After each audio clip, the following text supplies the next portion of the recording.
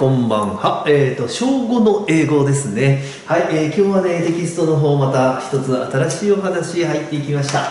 えっ、ー、と、前回までのお話ちょっと確認しますと、ね、えっ、と、I am とか You are、ね、This is, That is なんていう、いわゆる B 動詞というのがあったんでね。はい、えっ、と、am とか、はい、am とか、is とか、are っていうのをひっくるめて B 動詞ね、なんていうふうに言ったんですが、まずはこの B 動詞が使われてます文章っていうのをやってきたんですで、えー、ごく最近になって、はい、例えば have ですとか have ね like ですとか play とかっていう風な一般動詞、ねまあ、つまり B 動詞以外の動詞一般動詞なんだけれども、はい、例えば have なんていうのは持っているなんていう意味があったんで、はい、持っている、ね、なんていう意味のある have はい、それから好きなんていう意味の like えそれからこういったスポーツ名なんかを持ってきて何々をするなんていうプレイなんていうね、はい、紹介しまして、えー、こんな文章をね書いたりしてきたわけなんですよね。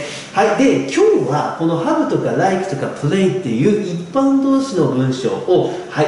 疑問文にしてみようというのが今日のテーマでございます。えつまり例えばねあなたはテニスが好きですとかあなたは野球をしますとかっていうこの文章を例えばあなたはテニスが好きですかとかあなたは野球をしますか？とかはいそんな風にしたい時ねどうしましょうっていうのが今日のお話でございます。さあそこでですねじゃあそれをこの今の使ってきた文章を疑問文にしようっていうことであじゃあ例えばです例えばですねじゃあもう英語理解しました。You play baseball ねあなたは野球をしますをあなたは野球をしますか？という疑問文にしてみようということなんですが結構ね簡単なんです実は。はい。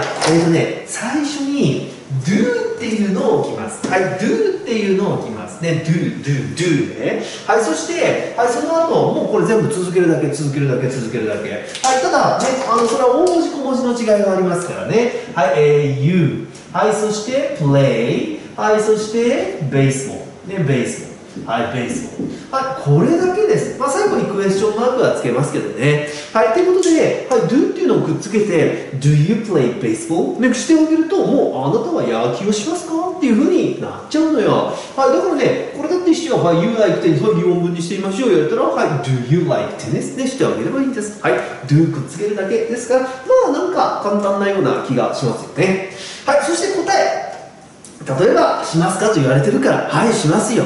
えー、または、いやいや、しませんよ。で、なんていうふうな答えも作りたいね。はい、ですので、例えば、はい、します。なんていうことであれば、yes で、カンマ。はい、そして、I、はい、do で聞いた疑問文、do を使って答えましょう。yes, I do とか、はい、no であれば、no でカンマ。はい、そして no, I、はい、don't で、なんていうことで、いいえ、しません。なんていうふうな答えができるんだということで